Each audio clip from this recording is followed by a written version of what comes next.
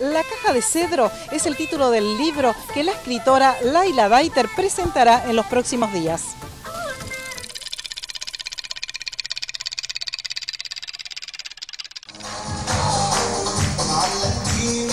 Es un libro que fue ideado a partir de la historia de un inmigrante libanés que puede ser la historia de muchos de los inmigrantes que han tenido que irse de su tierra y que hoy en día también es vigente.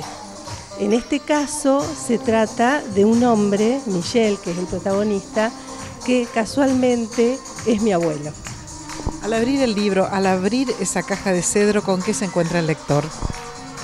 Bueno, se va a encontrar eh, con una historia de amor en primer lugar, porque eh, es lo que me ha movilizado, ha sido la historia de amor que hay detrás de su venida a Argentina y lo que ha sucedido en estas cartas que se mandan uno al otro y en un desencuentro donde van a encontrarse también con este, el desgarro de la guerra y, tal vez eh, también se van a encontrar con el miedo, se van a identificar con la pérdida del nombre.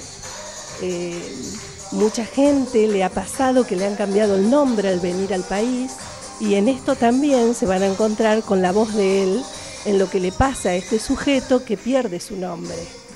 Me pareció interesante haberme puesto en la piel de él y haber este, podido decir esas palabras que yo pongo en el libro, las dejó atravesadas en su garganta.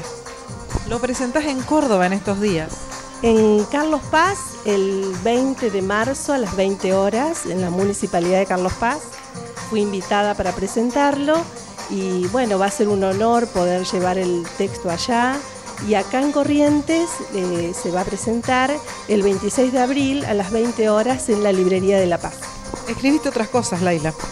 Sí, escribí eh, Las mil y una noches en las letras de Borges, también motivada siempre a partir de toda esta historia que nos atraviesa, que tiene que ver con el Medio Oriente.